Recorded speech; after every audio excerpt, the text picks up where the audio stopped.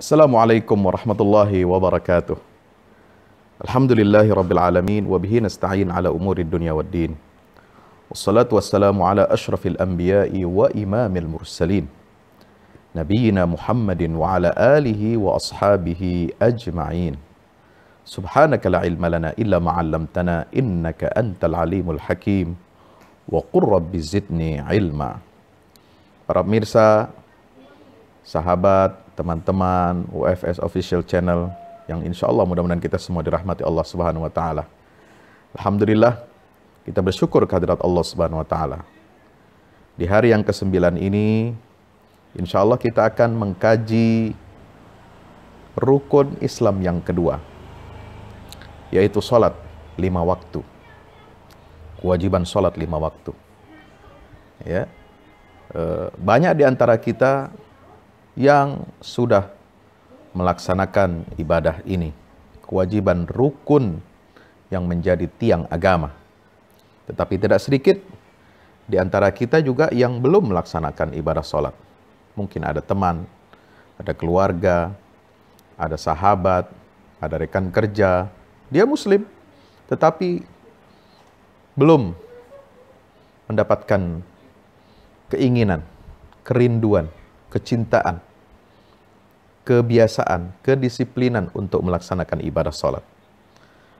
Dan di antara yang sudah melaksanakan ibadah sholat ini, banyak di antara kita yang belum menemukan kelezatan, kenikmatan, belum sampai kepada hakikat ibadah sholat. Seolah-olah dia hanya sebagai beban, sebagai kewajiban, dan dia tidak menganggapnya sebagai satu keperluan atau hajat yang mana itu akan memuaskan dahaga spiritualnya yang menjadi motivasi terbesar untuk senantiasa menjalani kehidupan ini berdasarkan nilai yang datang dari Allah Subhanahu wa taala. Pemirsa yang dirahmati Allah Subhanahu wa taala, rukun salat ini luar biasa. Ketika Nabi SAW ditanya oleh malaikat Jibril, apa itu Islam? Maka beliau menjawab, antashhada an la ilaha illallah wa anna muhammadar rasulullah wa tuqimas salah. Yang kedua, ya, mendirikan salat. ada setelah syahadat. Ada setelah persaksian kita bahwasanya tidak ada Tuhan kecuali Allah dan Muhammad sallallahu alaihi wasallam adalah utusan Allah Subhanahu wa taala. Luar biasa. Salat juga sebagaimana syahadat kepada Allah dan Rasul diwajibkan atau telah diperintahkan oleh Allah pada periode Makkiyah sebagai pondasi. Bersamaan dengan syahadat salat adalah pondasi kehidupan setiap muslim. Bagian dari akidah bukan hanya sekedar syariat salat itu bagian dari akidah setiap muslim. Maka ketika Allah wajibkan sholat ini pada peristiwa Isra dan Mi'rajnya Nabi Muhammad sallallahu alaihi wasallam ini menunjukkan bahwa sholat yang identik dengan periode Makkah adalah bagian yang integral dari tiang pancang akidah setiap muslim. Pemirsa yang dirahmati Allah Subhanahu wa taala. Bagaimana kita menghayati dan memaknai sholat yang sudah kita lakukan ini. Agar sholat kita ini memiliki fungsi, berdaya guna, memiliki pancaran ya dan dorongan bagi kehidupan kita yang positif. Dia menjadi mata air bagi kehidupan kita yang keras. Dan Allah Subhanahu wa taala telah menyatakan di dalam Al-Quranul Karim betapa pentingnya ibadah solat ini. Wa aqimis solata li.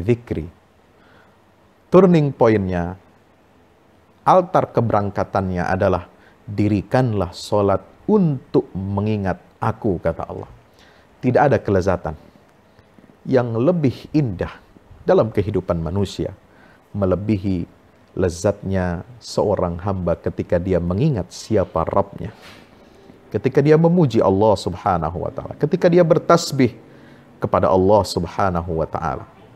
Ketika hamba mengenal siapa jati dirinya, bahwa dia bahwa dia berasal dari Allah lalu kembali kepada Allah Subhanahu wa taala dan menjalani kehidupan di dunia ini harus berdasarkan manhaj minhajan wa syir'atan manhaj dan syariat yang Allah turunkan kepada Rasulullah Muhammad sallallahu alaihi wasallam. Yang dirahmati Allah Subhanahu wa taala. Para nabi semuanya tanpa kecuali ya mereka membawa ajaran solat langsung dari Allah Subhanahu wa taala. Ya. Nabi Musa alaihissalam Allah perintahkan solat. Wauhayna ila Musa wa akhihi an tabawwa'a liqaumikuma bi Misra buyutan waj'alu buyutakum qiblatan wa aqimus salah. Subhanallah. Allah perintahkan dirikan solat kepada siapa? Nabi Musa dan Harun beserta seluruh Bani Israel. Tentu tata cara sholatnya ada perbedaan dengan syariat sholat yang dibawa atau yang diwahyukan kepada Nabi kita Muhammad SAW sebagai Nabi di akhir zaman. Pemirsa yang dirahmati Allah Subhanahu Wa Taala. Demikian pula Nabi Isa alaihissalam, ya, wa kana ya'muru ahlahu bis salati wa kana waz zakati wa kana inda rabbih mardiyya. Dia memerintahkan keluarganya, pengikutnya, umatnya untuk melaksanakan sholat dan menunaikan zakat. Ya.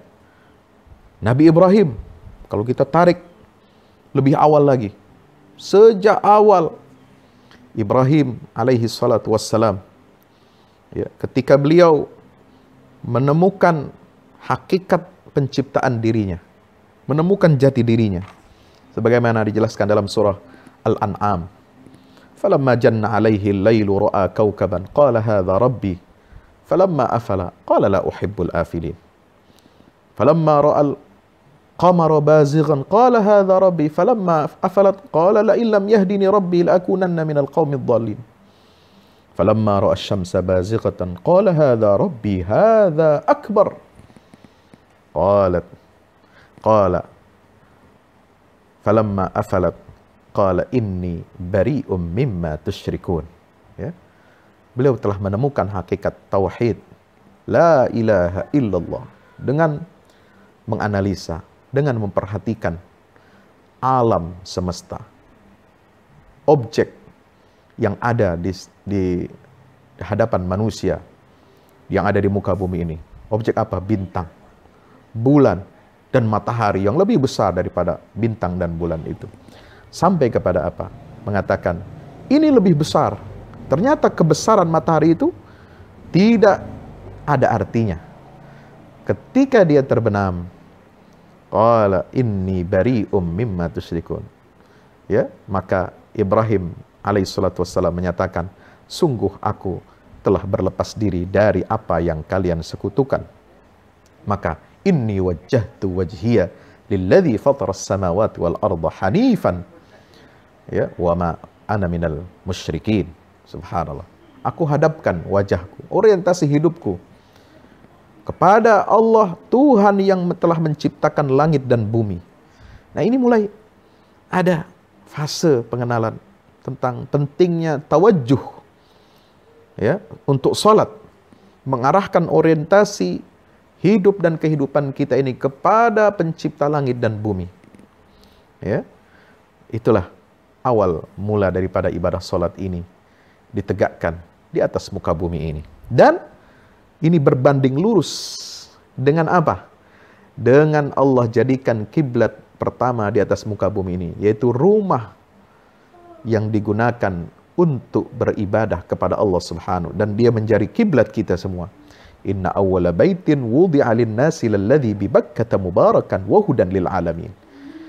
Rumah pertama yang dibangun oleh manusia ya adalah yang berada di Bakkah di Ka'bah untuk apa?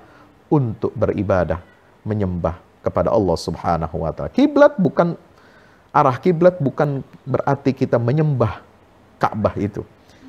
Kiblat atau Ka'bah itu Allah jadikan apa?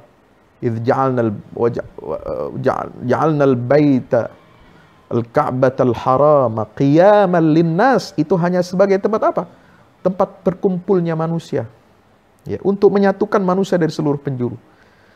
Dalam ayat yang lain, mathabatan linnas sebagai arah tujuan manusia. Jadi Ka'bah itu bukan batu yang kita sembah. Yang kita sembah adalah Allah. Hanya Ka'bah kiblat itu menjadi apa? Pusat arah di mana kita menuju ketika kita sholat ya menghadap Allah Subhanahu wa taala kita ini dipersatukan oleh Allah menuju arah yang sama dan di situlah simbol kita mengabdi beribadah kepada Allah Subhanahu. Maka itu ketika Nabi Ibrahim sampai di lembah Bakkah.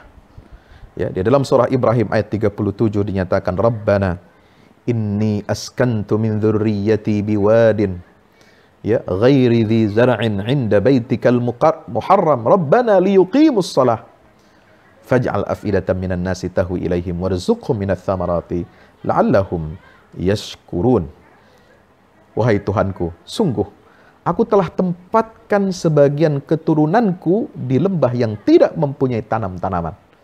Ya, di dekat rumahmu Baitullah. Itu Makkah ini, subhanallah, yang dihormati. Untuk apa? Liyuqimus shalah. Agar mereka mendirikan atau menegakkan solatnya. Allahu Akbar. Jadi, solat ini adalah ibadah yang sejak dahulu ada. Ya, sejak zaman Nabi Adam sampai Nabi Muhammad SAW disempurnakan oleh Allah dengan syariat solat lima waktu yang kita kenal sampai saat ini. Pemirsa yang dirahmati Allah Subhanahu Wa Taala, eh, banyak beberapa ulama klasik maupun kontemporer yang menulis tentang terma solat.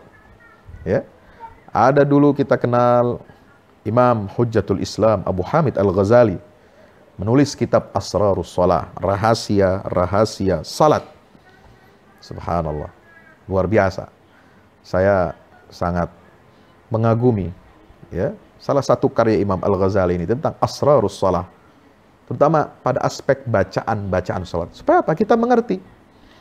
Ya, sebab salah satu syarat untuk kita bisa mendapatkan kekhusyuan di dalam salat ya, Eh, wa innaha lakabiratan illa 'alal khashiin walladzina hum fi salatihim khashi'un yang salatnya adalah salat yang khusyuk agar kita terhindar dari apa salat yang melalaikan sebab banyak orang yang salat tapi dia lalai dari hakikatnya fawailul lil musallin alladzina hum an salatihim sahun hati-hati jangan sampai kita melaksanakan salat tetapi kita lalai dari hakikat salat banyak yang salat tetapi mereka tidak mengerti hakikat sholat. Mereka lalai terhadap hakikat sholat. Mereka terburu-buru, tergesa-gesa melaksanakan sholat. Ya, seolah-olah tidak memiliki rasa malu di hadapan Allah Jalla Jalaluh ketika kita terburu-buru, tergesa-gesa dan seolah-olah menganggap sholat itu adalah beban. Kenapa Allah wajibkan kita untuk sholat lima waktu, saudara? Kita ilustrasikan. Saudara misalnya ya mencari satu tempat rumah yang luas, yang lapang, yang bagus, fasilitasnya lengkap, ya mewah, ya dan saudara dapatkan, ya ternyata saudara kemudian ketemu dengan pemilik rumah itu untuk apa? Melakukan kontrak sewa. Nah, ketika saudara bertemu dengan pemilik rumah untuk melakukan kontrak sewa menyewa yang luar biasa. Ini pasti harganya mahal. Rumah besar, luas, fasilitasnya lengkap, semua ada. Ya, ada sofanya, ada TV-nya, ada lemarinya, ada tempat tidurnya, ada karpetnya, ada AC-nya, ada semua. Lengkap dengan halamannya. Ya, dengan tanaman-tanaman yang indah. Sirkulasi yang luar biasa, fasilitas yang Masya Allah Nah, apa yang terjadi? Ketika Anda hendak menaikkan kontrak dengan pemilik rumah itu, lalu Anda bertanya, berapa harga sewa ini satu bulan? Subhanallah. Si pemilik rumah ini mengatakan, cukup bagi Anda untuk menempati rumah ini atau menyewa rumah ini, saudara ya hanya cukup dengan cara bagaimana membayar sewanya, yaitu dengan cara saudara makan hidangan, menu lima kali sehari yang lezat. Dan itu ya sudah saya tanggung harganya. Ya. Cukup Anda ya menempati menyewa rumah ini yang besar, lengkap fasilitasnya dengan cara apa? Anda silahkan makan dari hidangan saya lima kali sehari. Hidangan yang nikmat. Ya, itulah cara Anda untuk membayar sewa rumah yang dengan fasilitas yang luar biasa ini. Subhan, apa yang saudara rasakan kalau ada pemilik rumah berbaik hati seperti itu? Tentu Anda akan terkejut, akan gembira, akan apa namanya berbahagia. Ternyata rumah yang luas, yang mewah ini Ternyata harga sewanya hanya berapa? Hanya kita disuruh makan lima kali sehari dan itu pun ya sudah ditanggung nilainya oleh si pemilik rumah. Betapa kita tidak senang. Itulah ilustrasi ya walillahil matsalul a'la. Ketika Allah Subhanahu wa taala memberikan kita sewa kontrak hidup di rumah di rumah yang bernama dunia ini gratis. Dengan semua fasilitasnya, dengan semua keluasannya, dengan semua isinya di dalam perut bumi, semua kekayaan alam yang berlimpah, semua udara yang kita hirup, oksigen, semua air, semua sungai yang bisa kita manfaatkan untuk menghidupi tanaman, tumbuhan, untuk mengelola alam eh, dunia yang kita tinggali ini. Ya, dengan semua isi ikan, yang ada di laut yang bisa kita konsumsi, kita makan. Ya. Ternyata harga sewa kontrak dunia ini Allah cukup memberikan kita apa? Ya, salatlah wahai manusia lima kali sehari saja. Itu pun sudah ditanggung oleh Allah harga salat ini. Kalian tidak perlu bayar. Makan hidangan, silakan makanlah, ambillah nutrisi hidangan dari salat. Itu cara Anda untuk membayar harga sewa kontrak kehidupan kita di dunia ini yang begitu berlimpah karunia nikmatnya dari Allah. Yang begitu lengkap fasilitasnya. Yang begitu menakjubkan keindahannya. Saudara, kalau kita tidak mau melaksanakan ibadah sholat yang itu gratis dari Allah. Ditanggung sudah nilainya oleh Allah subhanahu wa ta'ala. Ya. Padahal kita sudah menyewa dan mengontrak ya, rumah di dunia ini sebagai tempat persinggahan kita gratis.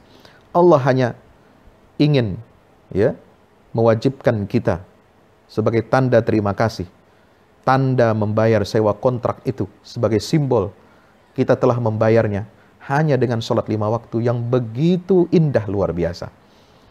Betapa malunya saudara kalau kita melalaikan sholat kita. Kalau kita tidak khusyuk di dalam sholat kita, padahal kita sudah menerima pemberian yang begitu besar, begitu istimewa, begitu luar biasa dari Allah, pemilik dunia ini, pemilik bumi ini beserta seluruh isinya, bahkan bukan hanya bumi, pemilik seluruh alam semesta ini, yang mana semua itu telah ditaklukkan dan ditundukkan oleh Allah. Wasakhara lakum ma fis samawati wa ma fil ard wa asbaghu alaikum zahiratan wa. Dalam surah Luqman Allah telah menyatakan Allah Subhanahu wa taala ya telah menundukkan semua apa yang di langit dan di bumi ini untuk kepentingan kamu hai manusia hamba Allah. Dan Allah telah sempurnakan nikmatnya untuk kalian zahiratan wa batinah, yang nikmat yang zahir maupun nikmat yang batin. Ya. Afa bi ni'matillahi. Ya, apakah terhadap nikmat-nikmat Allah Subhanahu wa taala itu kalian mengingkarinya? Subhanallah. Kita hanya diminta membayar sewa kontrak kita cukup dengan lima kali sehari kita melaksanakan ibadah salat waktu saudara. Belum lagi kalau kita berangkat lebih daripada itu ya kita ini makhluk subhanallah yang banyak sekali ya apa namanya bernafsu ingin mentasarrufkan ya, harta kita untuk apa? Untuk bisa makan, mengenyangkan perut kita dengan makanan-makanan yang mewah, yang harus dibayar dengan mahal. Kalau kita begitu luar biasa usahanya, untuk apa? Untuk makan makanan, hidangan di buffet, di hotel-hotel, di kafe-kafe, di restoran-restoran mewah, ya. Subhanallah. Kita rela untuk membayar, menginfakkan, mengeluarkan harta kita. Subhanallah. Begitu serius kita untuk mengenyangkan perut kita. Tapi bagaimana kondisi kita ketika kita tidak serius ya berusaha untuk memberikan nutrisi makanan untuk hati dan jiwa kita.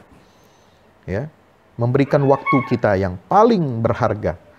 Ya, salat di awal waktu. Ya, inna salata kanat 'alal mu'minina kitaban mauquta.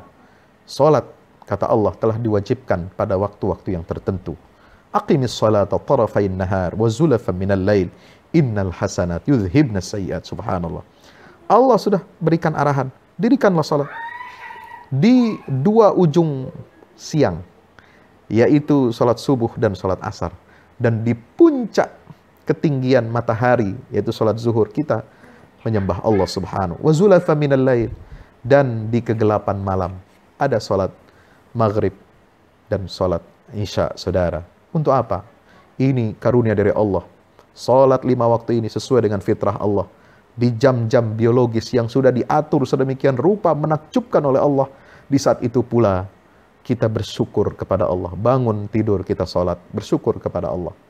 Ketika kita berada di puncak pekerjaan kita, kesibukan kita, kita telah mendapatkan nikmat, kita bersyukur dengan sholat zuhur. Di saat matahari telah mulai redup, ya, sudah mulai menguning, mulai makin terbenam lagi, mulai memerah kita sholat asar, saudara. Bersyukur lagi pada Allah masuk di kegelapan malam. Kita tidak beda, tidak lagi melihat cahaya, ya. Tetapi solat di malam hari itu, solat maghrib dan isya akan menjadi cahaya penerang bagi jiwa kita, saudara. Subhanallah, luar biasa. Nah, panggil, ketika Allah Subhanahu Wa Taala, ya, tahu bahwa kita ini adalah makhluk yang mudah untuk bermaksiat, banyak dosanya dan cara Allah untuk menghapuskan dosa-dosa kita, terutama yang kecil-kecil, itu adalah dengan sholat lima waktu, saudara. Subhanallah. Maka Nabi SAW menyatakan, As-salawatul khamsu mukaffiratun lima bainahunna. Lima bainahunna. Salat yang lima waktu itu, kata Nabi SAW, dia adalah menghapus dosa-dosa yang dikerjakan oleh seorang hamba di antara waktu-waktu sholat itu. Subhanallah. Luar biasa istimewanya sholat ini, saudara. Kalau kita tidak lagi tergerak untuk melaksanakan ibadah sholat dengan khusyuk, disiplin, tepat waktu, memaknainya, gerak setiap gerakan kita, setiap bacaan kita, ya, dan itu sebagai tanda, simbol, gratis kita bayar, sewa dan kontrak kehidupan kita di atas muka bumi ini dengan semua fasilitasnya dan isinya dari Allah Subhanahu wa taala. Bagaimana lagi kita akan bisa beribadah kepada Allah Subhanahu wa taala sebagai tanda rasa syukur kita, tanda terima kasih seorang hamba kepada Al-Khaliq Jalla Jalaluh Subhanahu wa taala. Pemirsa yang dirahmati Allah, kita makhluk yang hina, makhluk yang banyak dosa. Dan Allah siapkan ibadah solat ini untuk apa? Untuk menghapus dosa-dosa kita. Allahu Akbar. Ya, subhanallah. Saudara, pernahkah saudara merasakan kelezatan? Ya. Kelezatan ketika kita memulai sholat, saudara. Ketika kita melentunkan pada saat takbiratul ihram, Allahu Akbar. Ya. Bayangkan ketika kita melantunkan takbiratul ihram, Allahu Akbar. Bayangkan di situ malaikat datang ya membawa dosa-dosa kita. Semua dosa kita tanpa kecuali. Lalu malaikat itu meletakkan di atas bahu kita, di atas punggung kita. Ya. Dosa-dosa itu disusun. Ya. Disusun ke atas semakin tinggi semakin tinggi seperti dua menara kembar. Nah, kalau kita mengenal menara kembar di mana-mana ada di Malaysia, ada di mana-mana, menara tinggi di dunia. Itu dosa-dosa itu pada saat kita sholat dibawa oleh malaikat dan diletakkan di atas pundak dan punggung kita. Ya, disusun. Banyak sekali dosa-dosa kita ini. Menggunung. Ya. Menyundul langit. Subhanallah. Lalu kemudian ketika kita ruku dan sujud, maka dosa-dosa kita itu berjatuhan. Seperti tumpukan batu bata. Berjatuhan. Kalau kita berdiri, dia ada di sini. Dosa-dosa kita ini menggunung tinggi, angkasa. Lalu ketika kita ruku, saudara, apalagi sujud, semakin turun rendah kepala kita, bahu kita, punggung kita, maka semua dosa-dosa kita itu rontok, saudara. Berjatuhan. Ya, itulah yang digambarkan oleh Nabi kita Muhammad SAW dalam hadis dari Ibnu Umar radhiyallahu an. Innal abda idza qama ilis salati utiya bidzunubihi kulliha. Seorang hamba apabila dia mendirikan salat, didatangkanlah semua dosa-dosanya. Fawudi'at ala atiqaihi. Maka diletakkan semua dosa-dosa itu di atas dua pundaknya. Fakullama raka'au sajad setiap kali dia ruku dan sujud saudara, tasaqatat anhu, maka seluruh dosa-dosa yang telah diletakkan di pundaknya itu apa? Berjatuhan, berguguran saudara. Subhanallah. Dalam hadis lain dari Uqbah bin Amir dalam sahih targhib wa tarhib. Apa sabda Nabi SAW? Ma min muslimin yatawadda fayusbighul wudu. Tidak ada seorang muslim yang berwudu. Subhanallah. Berwudu ini ada filosofinya saudara. Ya. Wudu. Kemudian dia sempurnakan wudhunya. Sempurnakan. Ya. Kemudian dia sholat. Thumma yaqumu fi sholatihi. Dia sholat. Faya'lamu ma yaqul. Dia mengerti. Dia menghayati apa yang dia ucapkan, saudara. Illan falata. Illan fatala. Wahuwa kayaumi waladadhu ummu. Tidaklah seorang muslim melakukan itu, berwudhu dia sempurnakan wudhunya, dia sempurnakan sholatnya, dia pahami, dia hayati apa yang dia baca ketika sholat. Tidaklah dia melakukan itu kecuali selesai dia keluar atau selesai mengerjakan ibadah sholat ini. Wahuwa kayaumi waladathu ummuh. Maka dia terlahir seperti bayi yang baru dilahirkan oleh ibunya. Jadi sholat ini adalah transformasi diri. Perubahan. ya Perubahan ke arah yang lebih baik ada proses pembaruan. Pembaruan dalam jiwa kita, pembaruan dalam diri kita.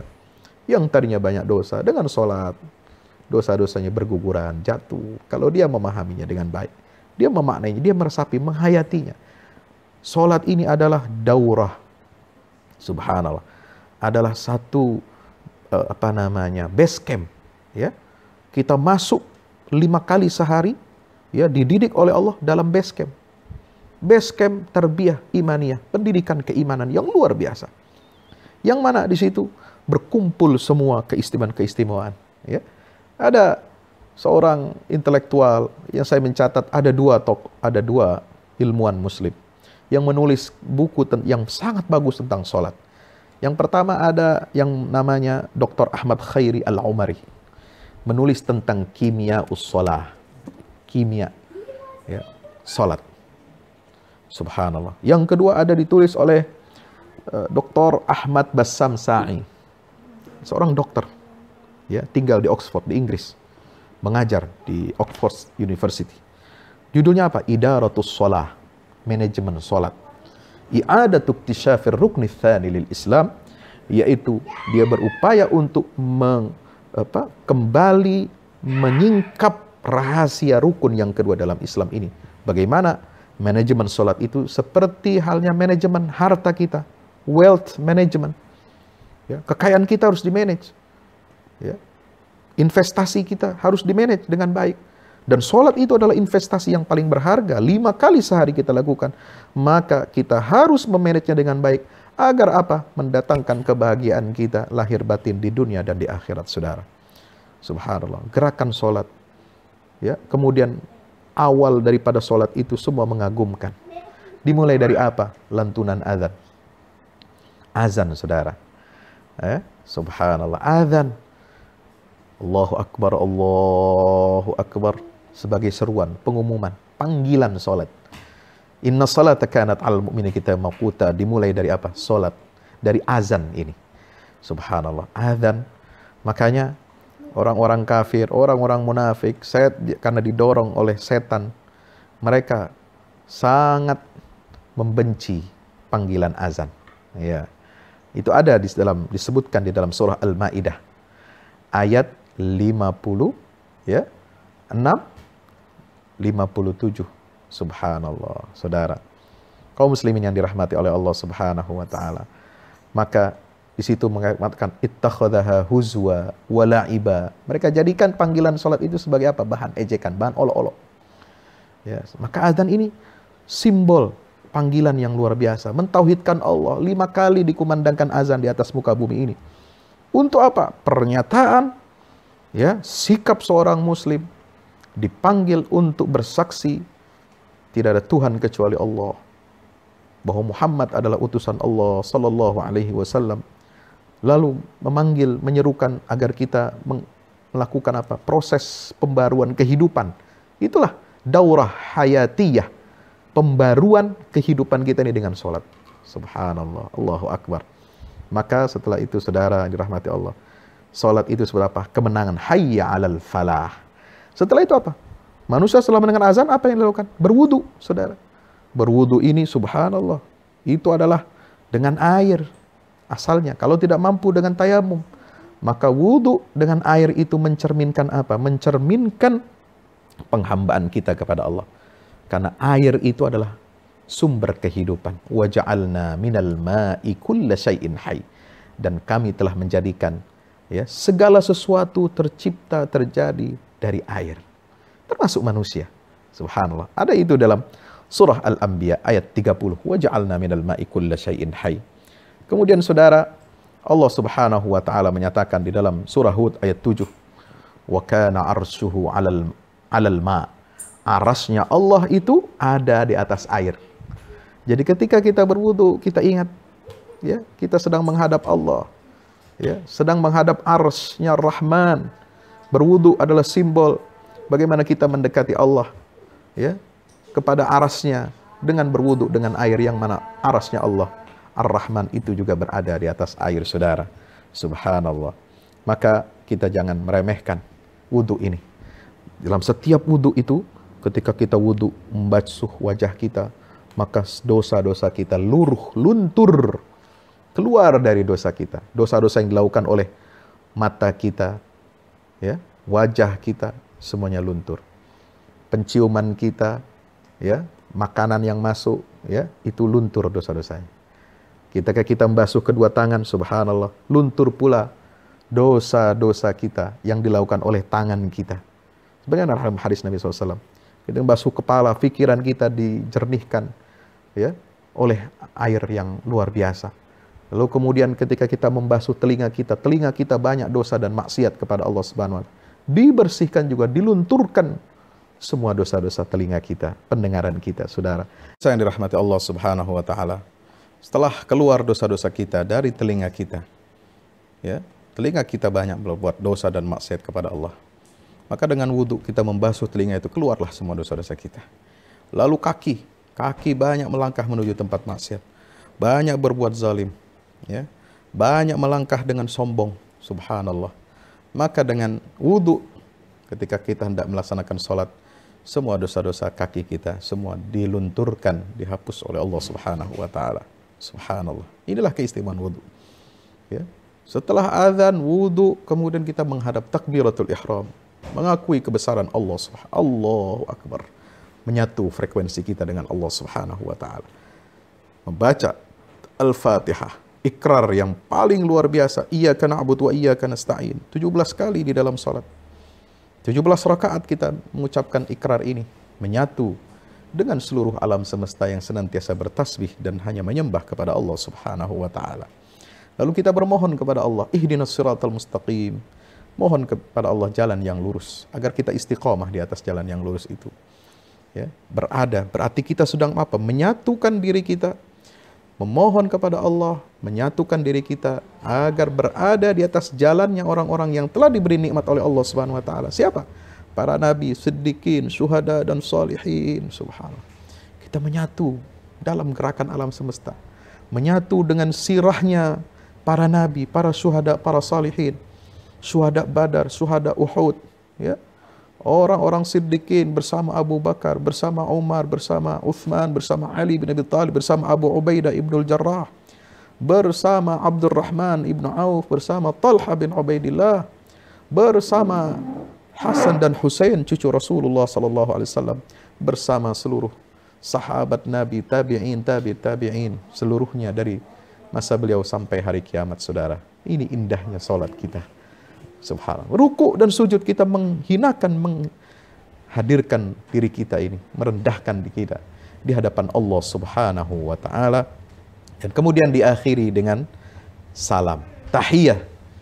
Assalamu alayka ayyuhan nabiyyu wa rahmatullahi wa barakatuh. Sebagai apa? Simbol bahwa Nabi ini adalah penutup para Nabi. Yang dengannya hidup kita ini menjadi sempurna, bahagia dunia akhirat. Assalamu alayna wa ala ibadillahi salihin. Diulang lagi keselamatan, kesejahteraan untuk orang-orang hambanya yang saleh. Lalu kemudian kita bersalawat kepada Rasulullah, kepada keluarganya, kepada Nabi Ibrahim dan keluarga Ibrahim. Kenapa?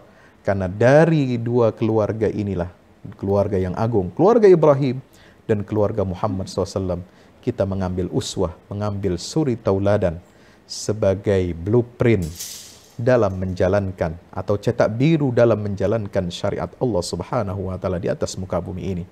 Maka kemudian diakhiri dengan salam kedamaian. Assalamualaikum warahmatullahi Assalamualaikum warahmatullahi Subhanallah. Inilah salat kita, ibadah yang paling istimewa, ibadah yang dilakukan setiap hari lima kali untuk apa? Kita mi'raj ruhani menghadap Allah Subhanahu wa taala. Mudah-mudahan diberkahi oleh Allah. Semoga salat puas salat dan puasa kita diterima oleh Allah Subhanahu wa taala. Assalamualaikum warahmatullahi wabarakatuh.